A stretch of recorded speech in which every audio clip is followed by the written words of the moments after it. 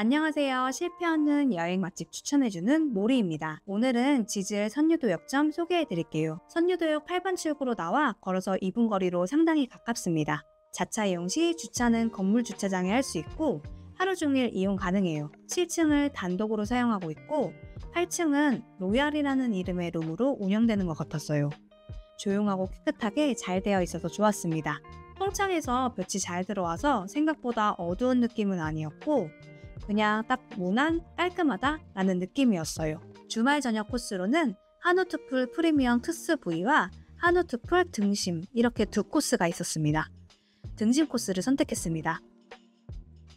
코스를 선택하면 직원분이 알레르기는 없는지 먼저 물어봐 주셔요. 그리고 코스에 대해서 간단하게 설명하고 바로 요리 나옵니다. 자리에는 먼저 밑반찬과 물이 준비되어 있었는데요. 당근인 것 같기도 소라인 것 같기도 한 녀석이 있었는데요. 밑반찬들은 이후에 고기 먹으면서 다시 설명드릴게요. 우선 스프가 먼저 나왔습니다. 프랑스식 monter 기법을 이용해서 저온에서 오래 끓여낸 단호박 크림 스프인데요. 위에 장미, 애플민트와 크루통이 올라가 있었고 맛은 딱 깔끔한 단호박 크림 스프 맛이었습니다. 크게 달지 않고 자극적이지 않은 맛이어서 좋았어요. 입맛을 도둑이 괜찮은 스프였습니다. 다음으로는 연어 그라브락스가 나왔습니다. 그라브락스는 소금과 설탕 딜에 절인 연어를 사용해 만든 스칸디나비아 음식인데요. 여기서도 소금과 설탕에 하루 정도 숙성시켰다고 하네요. 오이와 토마토 등 상큼한 야채들과 함께 준비되었어요. 맛은 있었지만 제 입에는 조금 비리더라고요. 그래서 같이 나온 상큼한 야채들과 함께 먹었어요. 이 특이한 물방울 모양 열매는 caperberry라고 하는데요. 케이퍼의 열매라고 합니다. 상큼하면서 식감도 말랑하니 특이했어요. 이때 이따 사용될 트러플을 보여주셨습니다. 다음으로는 amuse-bouche 3종이 준비되었는데요. amuse-bouche는 아까 말씀드렸듯이 메인 식사 전 간단하게 입을 즐겁게 하는 요리라고 해요. 참다랑어부터 육회, 스테이크 초밥 이렇게 비린순으로 먹으라고 있습니다. 아까 보여준 트러플은 육회 위에 올라가 있네요. 참다랑어 초밥은 부드러운 식감은 괜찮았는데 아까 연어 그라브락스와 마찬가지로 살짝 비린 맛이 있었습니다. 다만 여기는 한우 오마카세이기 때문에 저는 생선이나 해산물에는 별로 큰 기대를 갖지 않아서 괜찮았어요. 육회는 지질에서 처음 맛본 고기였는데요. 나쁘지 않았습니다. 육회는 알아서 먹다가 한입 커리 정도 남겨서 감태에 싸먹으라고 했는데 이게 떡갈비처럼 쫀쫀히 뭉쳐 있어서 풀어먹기가 좀 힘들더라고요.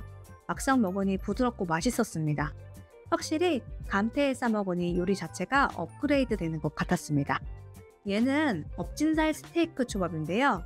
아래에 밥이 깔려 있어요. 이게 밥량이 콩알만한 게 아니라 고기가 엄청 큰 거예요. 입에 넣자마자 딱 맛있었습니다. 불향도 나고 위엔 갓김치가 올라갔다고 하더라고요.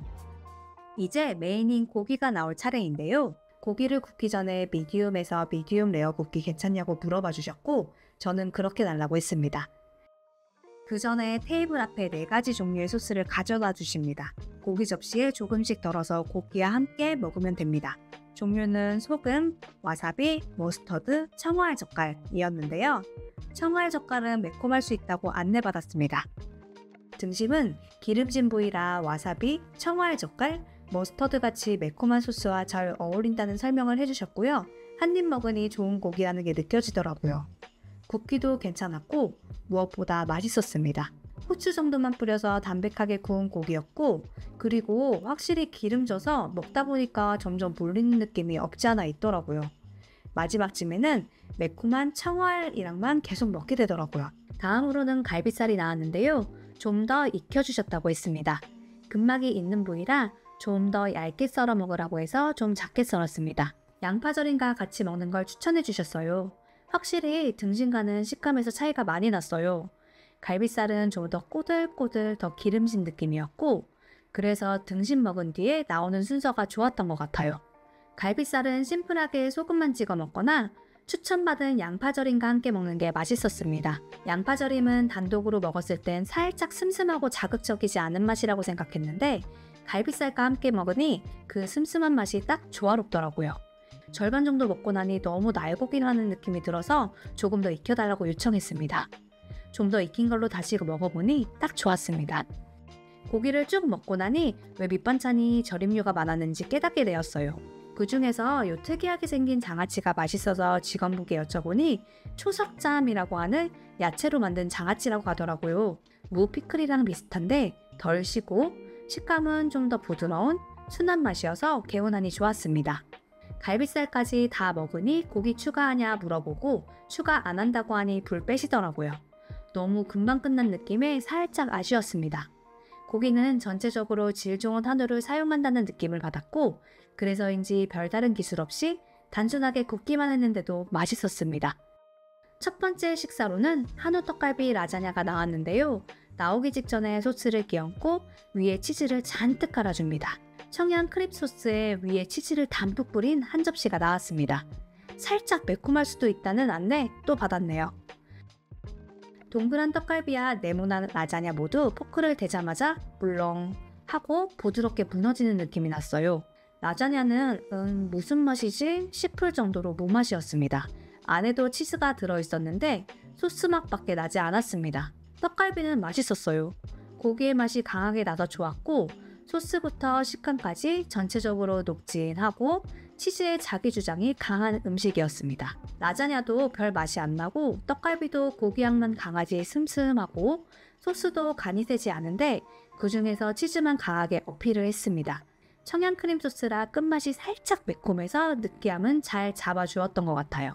전체적으로는 소스 빼고 아쉬웠던 떡갈비 라자냐였습니다. 다음 식사로는 곤드레 솥밥과 된장찌개가 나왔습니다. 앞에서 직접 된장찌개도 끓여주시고 솥밥도 퍼주십니다. 곤드레 솥밥 향이 참 좋더라고요. 참기름을 살짝 뿌려줘서 고소하니 좋았습니다. 밑반찬으로는 구운 김, 양념 간장, 김치, 애호박 부침이 나왔는데 전체적으로 무난무난 평범했습니다. 이 가게가 전체적으로 간이 세지 않다고 느낀 게 이때였는데요. 양념장을 다 넣어도 솥밥이 슴슴하더라고요. 된장찌개는 오버하지 않는 양파가 많이 들어가 달큰한 집 된장찌개 느낌이었습니다. 된장찌개는 이렇게 수수한 맛이 좋은 것 같아요. 식사를 거의 마치니 곤드레 솥밥 누룽지를 갖다 주셨는데 이게 킥이었습니다. 좋더라고요. 곤드레 향에 딱 좋게 만들어진 누룽지 사실 계속 느끼한 맛이 맴돌았는데 그런 기름기를 싹 청소해주는 개운한 마무리였습니다. 이제 마무리로 디저트가 나왔는데요.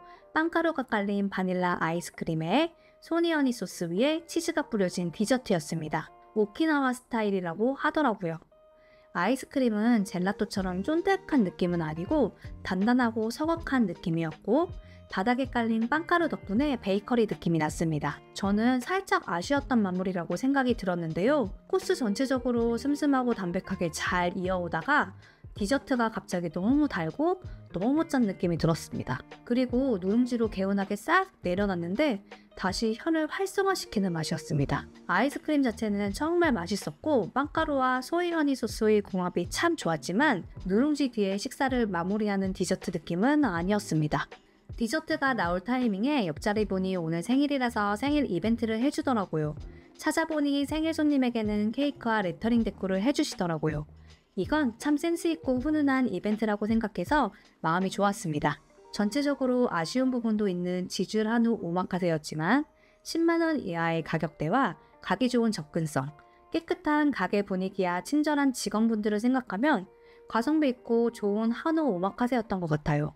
무엇보다 아깝지 않은 가격이 큰 메리트라고 생각이 드네요. 다시 재방문 의사 있습니다.